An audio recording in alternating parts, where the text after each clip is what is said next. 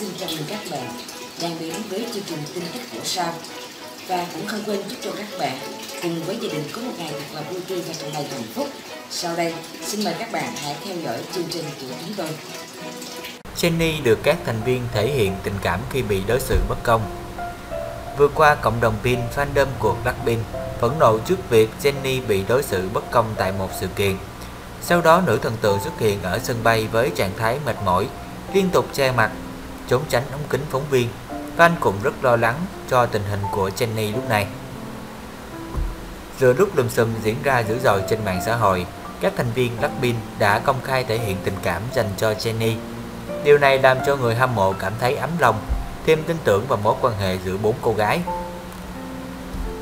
Hôm ngày 16 tháng 1 chính là ngày đặc biệt đối với Pink bởi lẽ đây là thời khắc Jenny tròn 24 tuổi. Trong ngày sinh nhật, Jisoo, Rose và Lisa đã thi nhau gửi lời chúc mừng cho Jennie, đồng thời đăng tải những bức ảnh vui vẻ bên Jennie. Hành động của Blackpink như một cách công khai thể hiện sự yêu thương mà họ dành cho Jennie. Trên Instagram, Jisoo đã canh đúng giờ chuyển sang ngày và đăng ảnh Jennie đang ăn bánh kem rất dễ thương. Chị cả của nhóm nhắn gửi đôi điều về người em của mình. Mình không nghĩ em ấy có thay đổi so với lần đầu mình gặp em ấy, vẫn luôn như vậy, vẫn không thay đổi, vẫn chưa lớn.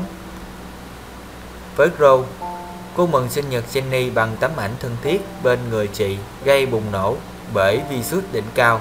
Rose dành cho Jenny lời yêu thương, chúc mừng sinh nhật, tình yêu của em, yêu chị nhiều. Cô em út Lisa cũng chúc mừng sinh nhật Jenny bằng bức ảnh chụp chung của cả hai người. Sự thân thiết giữa Jenny và Lisa trong ảnh làm người hâm mộ cảm thấy ấm lòng. Họ luôn giống như những người thân trong gia đình, không có bất kỳ khoảng cách nào. Trong ngày sinh nhật lần thứ 24 của Jenny, các thành viên Blackpink đã không ngần ngại thể hiện tình cảm dành cho nữ thần tượng. Đáng nói đây là lúc Jenny đang vướng vào lùm xùm bị đối xử bất công. Với người hâm mộ, việc Jisoo, Ro và Lisa công khai sự bày tỏ yêu thương dành cho Jenny là một cách bảo vệ cô nàng. Mặc cho Adifan buông lời chỉ trích với Jenny, hay tình trạng sức khỏe của cô nàng không tốt, các thành viên trong nhóm vẫn xem cô là một người rất quan trọng đó mới thực sự là điều gắn kết Blackpink với nhau. Ngoài ra, hành động mừng sinh nhật của Jennie đã chứng minh rằng bốn cô gái này đều thân thiết với nhau, không hề có sự chia rẽ nội bộ nào cả.